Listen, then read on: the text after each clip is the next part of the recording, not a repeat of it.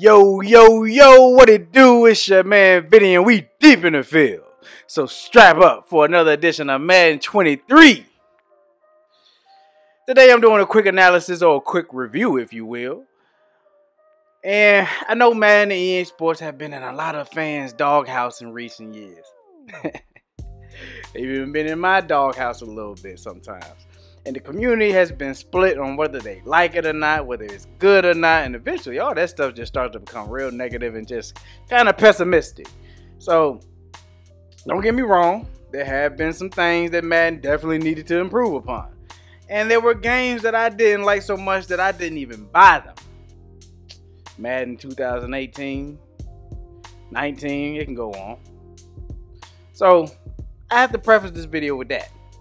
Leave all the negativity at the door. If you don't like it and you think Madden is just a terrible franchise, then just don't buy the game. If you do like it, get it. Simple as that. And that's with every product. You know what I'm saying? You're going to like some things about it, you're going to dislike some other things about it, and we can all be critical when we want. Now, that's where this review is coming from. Now, let's be clear. I have griped on Madden for a few years, like I said. I felt like 22 was in the what like the I don't know. It was up in the air last year. It could be fun at times, and other times it just left a bad taste in your mouth with all the bugs, the lack of authenticity, and just the feeling of more things to be desired. But fast forward to Madden 23. And I must say, the marketing was impeccable. And just the entire rollout, this, what, this year was most I'm gonna say this. This was the most I've been excited for Madden in a long time, a very long time.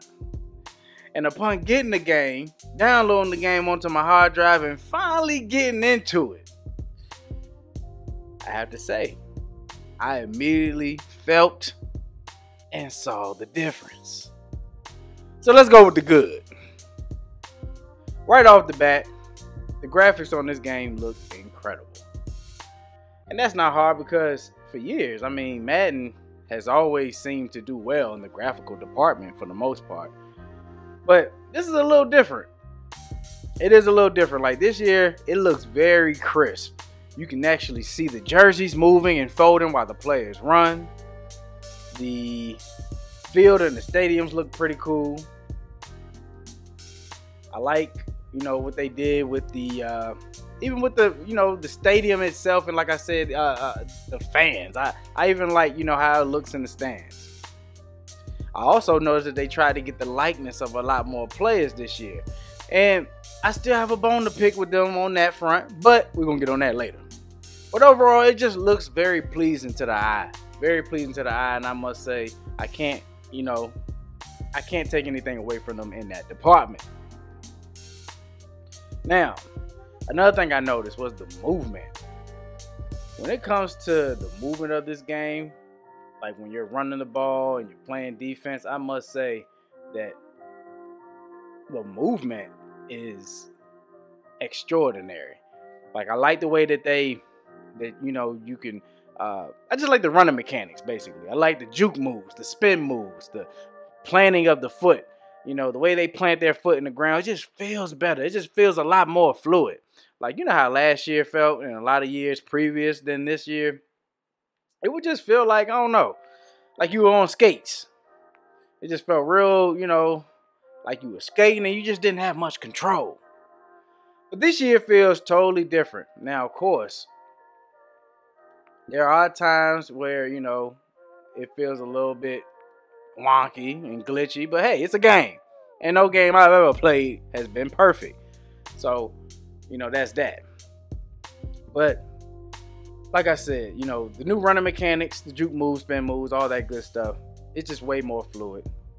And another thing that's a difference from this year as compared to this uh, or last year is just um, the juke moves, man. Like remember last year, you would hit that juke button and it just felt like it felt like it, it was it was useless to a point, you know, because they would just take a sidestep instead of a real juke, and the defender really wouldn't even have to make an adjustment to make the tackle. This year, that's completely different. You know, last year you would have had to have like a, a player with the ankle breaker ability to even make a good move on a defender. This year, if you know what you're doing and you got some stick, then you can make some things happen after the catch, after the run, after you get in the second level of the field, etc., etc. Now, I also love the modes this year. Face of the franchise mode and the new uh, Madden Legacy mode. With the face of the franchise mode, they added a different touch to it than previous years, where you create a player and your created player will come in in the league as a rookie. This year they did away with that, and now they have it so your player is in the fifth year of his career and basically on the brink of ending his career because you are on a one-year prove-it deal. And I just think that it's very fresh. Now, what the hell is going on with the passing here? We're gonna get on that later. That's something that I'm gonna gripe on. But anyway, like I was saying, you know, so many times in the NFL we see different storylines where, you know, there are people who are, you know, in training camp right now who oh come on, you gotta catch that D hop. But there are players who need to uh what am I doing? Don't go for that. Alright. But there are players who come into the league they've been in the league for a little for a couple of years. They bounced around, and now you know they're trying to find their footing. They're finding their ground. Well, you know that's what we have here, and it's just a little bit more authentic. You know, it's way better than just the same mundane storyline of a kid coming out of college, joining a team, and blah blah blah. So that gives players the incentive for choosing the right team based on the rep points and the XP that can be gained, and a team that has the most need for your player's position. And finally, if their scheme is a fit or not. To the line, baby, get to the line. We're just testing this thing. Ooh, and they got me for play a game. But anyway, now I do plan on starting a face of the franchise on this channel for those of you who are into that kind of thing. So if you have any suggestions on what positions you would like to see or what type of player prototype you would like or enjoy watching, then leave that in the comments. And for as far as this uh, Madden Legacy mode, that's a very fun experience, and it's one of those experiences where you get to play with the uh, all the special players of the entire Madden and football world. So you got Hall of Famers in there like Deion Sanders, Brett Favre, Lawrence Taylor. You know what I'm saying? You got um, Jerry Rice, Randy Moss. And then you got future Hall of Famers and Tom Brady, Devin Hester, Warren Sapp. I don't know if he's a he might be a Hall of Famer already. But yeah, this mode gives you a chance to play with these historic players without the use of Madden Ultimate Team. And I must say, it's a great addition. And to be honest, I think it's the first time in years we've been able to play with these players outside of MUT, which just makes you appreciate the players a lot more and appreciate that the developers decided to put these guys in there for play for, for, you know your casual Madden players who don't really technically rock with the MUT mode like myself. And it's just you know, hey, I, I enjoy that they put that in there so that you can actually play with these guys because it felt good playing with Deion Sanders, catching a pick and taking it back to the crib. Now, if they could just figure out a way to add historic teams in here all together, whew, man, to be on to something. But more on that later. Now, all in all, I must say I like the two new modes as well as the franchise, which I'll be posting a rebuild video of me rebuilding the Commanders very soon. And so y'all be on the lookout for that. But yeah, that's what I like. Now, since this is deep in the field, and we like to keep it real, I can't or I refuse to only discuss what I like about the game. Because everything's binary. There are things I like and there are things that I truly dislike and that don't sit too well with me. First things first, the presentation. Now y'all saw it, but you can just see it in the small glimpse that you got out of this, uh, what I'm showing you guys now. You know, the presentation is just a little lackluster. It's very bland, very vanilla. I see that they added a couple different intros and that's not a problem, but come on, EA. Give us some real intros and presentation, man. Because I feel that they could have changed the game and make a lot of people happy if they just took a page out of 2K's book. Show us some players getting off the team bus, walking through the tunnel towards the locker room. Show us some team captains giving their team or respective positions group a speech before coming out of the tunnel or on the sideline before the game. Show us receivers and quarterbacks warming up, playing pitch and catch, people stretching, Show us a coach getting an interview or a sideline reporter giving us the keys to the game. Keys to victory. You see, these small additions would just add to the experience. Because I don't know about you, but a lot of people, including myself, like to live the entire moment and watch those types of things. I know some people just, you know, they hold A or X and they just skip through that stuff, but players like me, man, I actually like to watch that stuff. Because believe it or not, some people are playing this while eating food. Other players are, you know, sitting back and rolling up something dank that make them feel like money in the bank. And then you got the other players who just like to sit back and feel like they're watching a true presentation on Sunday, Monday, or Thursday. But instead, this just feels a little cheap, a little cheesy when it comes to those corny photo shoot poses that you got the players doing and the music and I just feel like it could have been done better. And secondly, on the gameplay hype.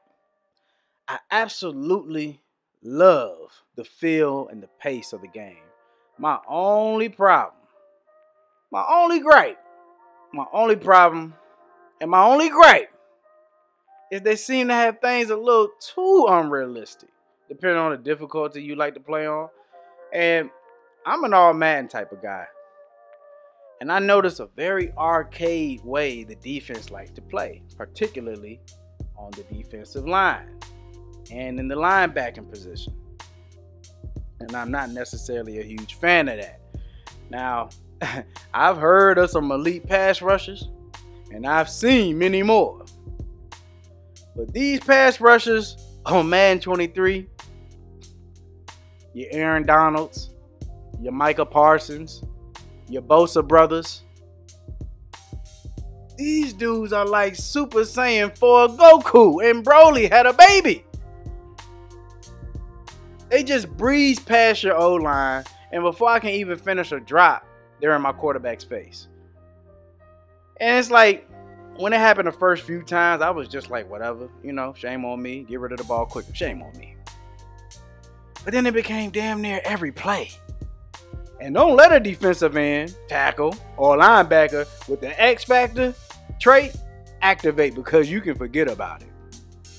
No double team will help you. No running back can save you. You can't slide protection. Nothing. You just need to either throw the ball in a second, take the sack, or just forget passing the ball altogether because it's just that bad. So the developers need to find a way to sort of tone that down whenever they roll out the first patch because you know what's coming. EA is notorious for having patches maybe four weeks or to two months after the game releases. So they definitely should be having a patch soon. That's one thing that they need to shore up. I just felt that it's ridiculous and it kind of takes the fun out of the game, you know?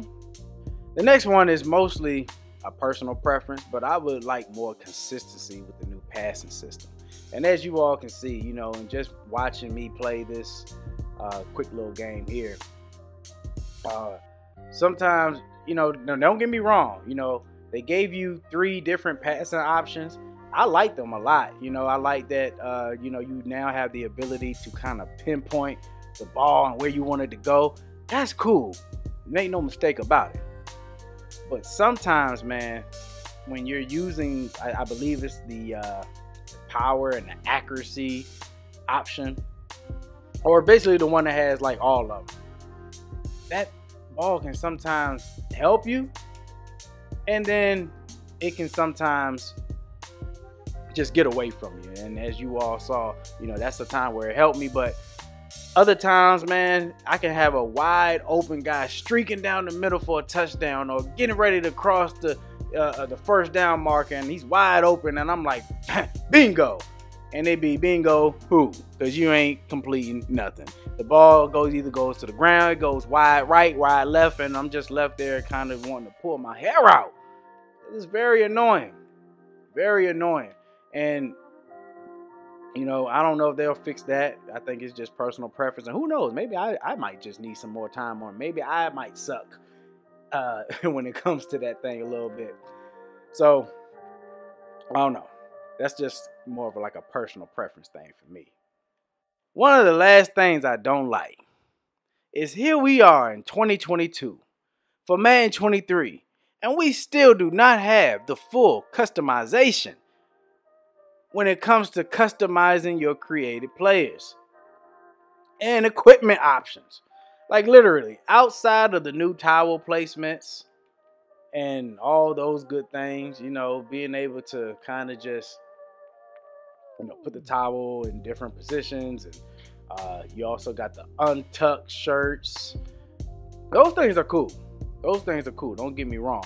Also, you know, I, I, feel like they got a couple new cleats up in here, and they also probably got a couple new helmets, but we still don't get the full range of options like your uh, NBA 2K.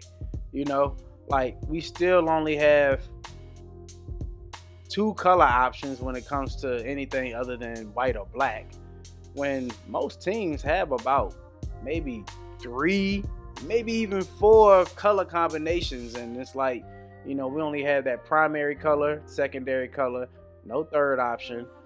And and that's just kind of like bogus. And I say that because a lot of teams they'll come out and you know want to you probably want to you know wear different gloves but everybody's wearing the same thing and it's only because you know they only give you a couple of options to go you know we got a couple new gloves in here, if I'm not mistaken. And uh, yeah, you know, it's just it's just a little a little lackluster. I'm not even gonna lie to you. And it's just annoying, man, because how hard can it be? Why do we only get one type of long sleeve? You know? Why are we still only getting uh you know, these tight sleeves and not the true baggy ones. Now I do realize and, and, see, as you all can see, that they have a little bit more texture to them this year. They don't look like the sleeves have been painted on their arms. And, and there's even like a little bit of looseness around like the elbow region and all that good stuff. And I like that. But why do we not have this option and an even baggier style of sleeves? And then don't get me started on the creative player. Like some of these faces, hell, most of these faces have been in the game for years. Probably even since 2013 at the earliest. And they got some of the same jailbird looks, the same messed up hairstyles with the prison braids. Like, who is this dude? Like, he doesn't look like he plays football at all. But you got guys like that. You got guys over here with the perm plaits for the dreadlocks and and receding hairlines and different things. Like, what in the hell is going on? Like, who's doing those? Those are supposed to be dreadlocks. I don't think so. You know, and and I'm just like, what the hell is this, EA? Give us some customization we have give us the same type of uh, uh, customizing options that we have when it comes to building a character's face and building, uh, you know, their entire look. Give us the same thing that you gave us on creator uh, or face of the franchise. That's what you want when you're creating a player. And so if you all could do it for face of the franchise, then try to give us that when we're creating a player, you know, just off of that option as well. It makes no sense because, and, and one thing I also don't like, you see how this player has dreads and his dreads are hanging and all that good stuff. Well, what doesn't make sense is when he puts that helmet on, you all can see the locks are falling in his face. And these locks are are actually aren't even that bad. He need to get them hit, but they aren't that bad. Now look what happens when he puts that helmet on. He puts the helmet on, and immediately the dreads are gone. It looked as if he is he's as bald as Mr. Clean. Clean, nothing falling out the side, nothing down his neck, nothing. You know, and it's just that's unacceptable, and it's just a lack of minor details. And the very last thing, the very very last thing that I have when it comes to uh, Madden 23, we want historic teams because it amazes me that NBA 2K has done something for so long, which is accomplished having uh, those historic players on those historic teams without any contract feuds or any problems. Knock on wood. So why can't man do it?